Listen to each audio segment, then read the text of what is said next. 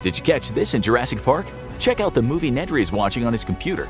Recognize it? It's a famous shot from Jaws, another movie that just so happens to be about people who disregard how dangerous certain gigantic carnivorous animals can be.